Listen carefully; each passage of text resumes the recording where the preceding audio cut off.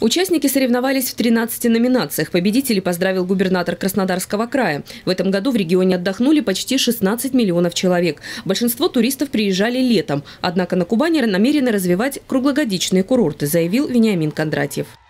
Сегодня, в первую очередь, не, не жилье нужно нам строить на курортах. Не жилье, я это в открытую говорю. А курортную инфраструктуру нужно строить.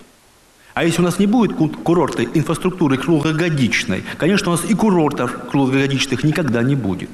Самый главный ресурс, он в ваших руках. То есть вот здесь просто прошу, вот прекратите просто бездумно распоряжаться землей той, которая еще осталась.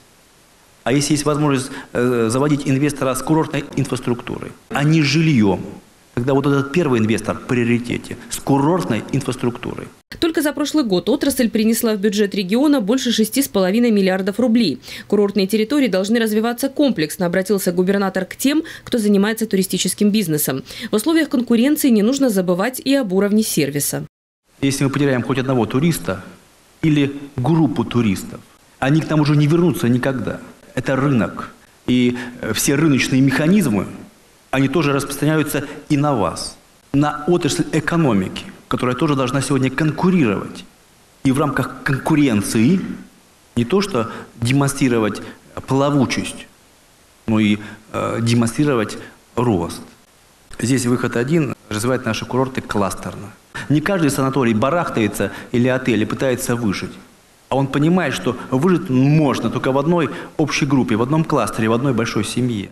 Тут на самом деле я хочу вам сказать искренне спасибо, что курорты Краснодарского края это, конечно, уже сложившийся бренд. Не хотел бы лично поблагодарить вас э, в вашем лице всех представителей туристической отрасли за вашу работу.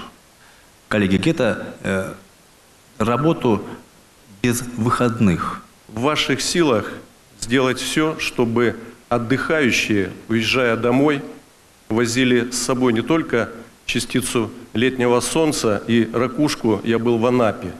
А увозили с собой самые прекрасные воспоминания и позитивные впечатления от э, курортов Краснодарского края.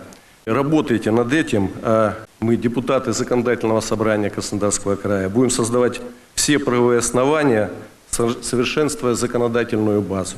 Участие в конкурсе «Курортный Олимп» приняли 130 предприятий. Победителей определяла экспертная комиссия. Нынешний этап конкурса стал самым масштабным за 12 лет. В этом году также организовали круглые столы и мастер-классы для представителей туриндустрии. Галина Моисеева, телекомпания «ФКТ».